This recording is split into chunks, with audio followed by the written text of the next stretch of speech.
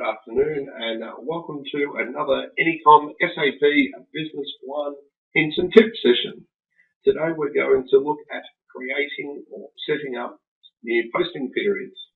To do this, please go to Administration, Systems Initialization, Posting Periods.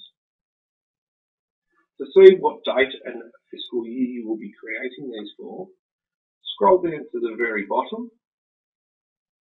drill into the last period, and as you can see, currently at the moment we've got set up to 2012. I'm then going to select New Period, and as you will see, this has populated automatically with the new fiscal year. So I'm going to put in a period code of 2013, and this will match the fiscal year. I'll also put the same for the period name. However, once this is created, you will see that there has been a change. Now, sub-period.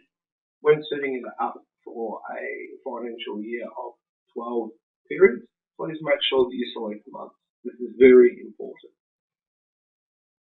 We then move down to the date. The posting date from, you'll see you're able to edit. And you'll see that the to date is locked. This is because it is for a full 12 months. However, you able to edit the due date from and to and the document date from and to as well. Sometimes we need to change these.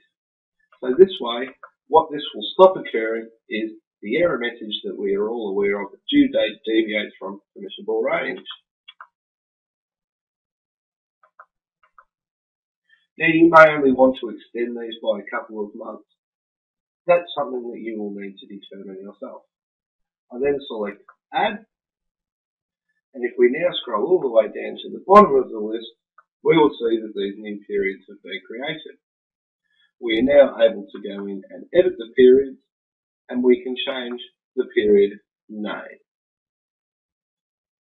Thank you very much for joining me